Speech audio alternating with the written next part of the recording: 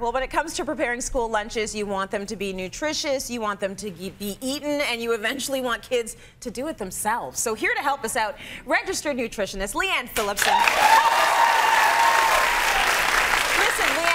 I've said this before on the show, lunches are not my favorite thing to make, and I'm happy we're going to be making the transition during this segment of getting your kids to do them yourself, That's themselves. Ideal, isn't right. it? Because as soon as they start from school and then when they're getting older, what they're going to eat and what they want to have are gonna is gonna change a lot. Absolutely. Throughout the years. So let's start here with Kindy. Yes. So these need to be really easy to open containers. Yeah.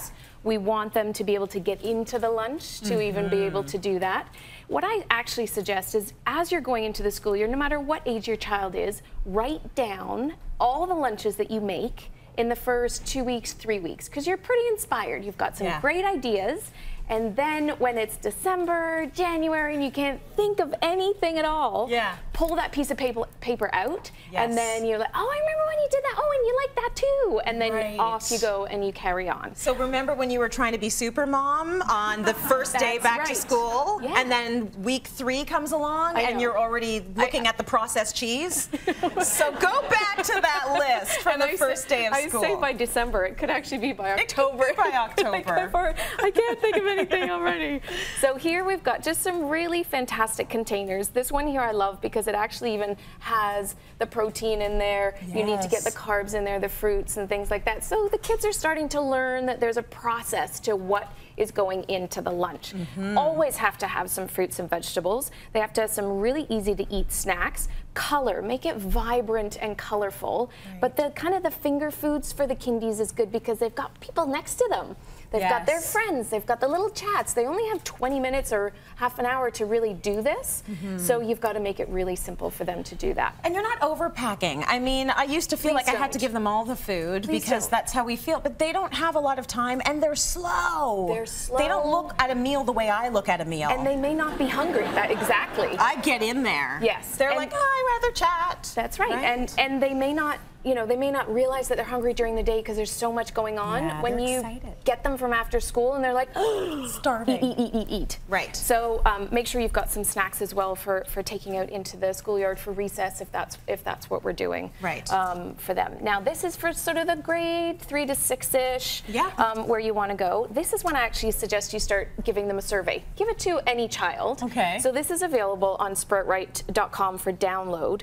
So this is a survey, so your kids can fill it out, send along a marker or a pen or something like that, have them scribble in what they what they had, because at the end of the day, first of all, how was school? Fine. Yeah. How was your lunch? Good. It's all right. So if you can get that feedback from them, just ask them to scribble it, scribble it out. So it's another fun thing to get them involved. So they're going to judge the lunch I make them? Is they that are. what's happening here? They are, because when it comes home full and yeah. they haven't eaten anything, okay. then you've got some feedback. I get it. You don't like cucumbers. And then you move on to something else. Okay. So let's say in this box here, this is more like have some breakfast for lunch. So I've got That's some good. pancakes, ricotta, some beautiful uh, vibrant foods, fruits, and then also some protein from that little egg put oh, in there. Egg. That right? is so good. This is so good because there's so many things you can't pack in the lunches now. It is. It gets really, really tricky. It really tricky. gets tricky. So you've got protein. Always have a protein source in have all of to. the lunches, and that's really important for yes. your brain. So love these uh, little containers here, these um, Ziploc type of oh, type of things, yeah. where you put in the quesadillas. So again,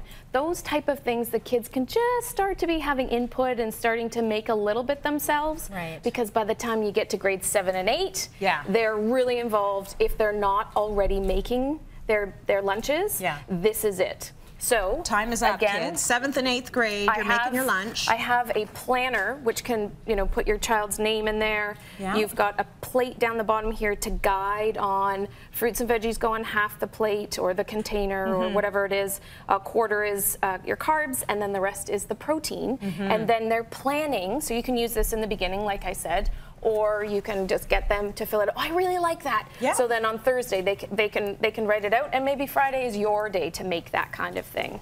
So here we've got, again, more snacky type of things. This is so easy for kids to throw together for right. themselves. It's not difficult at all. I find also that kids love snacks. You know, They they, want seven million snacks and they Yes. never want a meal. No, so if you don't. get the bento boxes, it's all snacky. All snacky, Finally, for high school kids, So uh, they're on their own and they're doing stuff that might be able to be microwaved Exactly.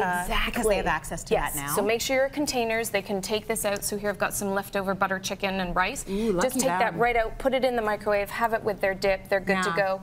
Pizza that they absolutely love, pack it full of vegetables. Mm-hmm. And then if they're really into their sports and all of those kind of things, get a good insulated container Yeah. so that they can go in there and stay cool. Really good tips. Really I'm going to take pictures of all this stuff so I remember. That's right. From And the pull second it up. week of You're September. having this for lunch for the first week. Thank you, Lianne. My pleasure.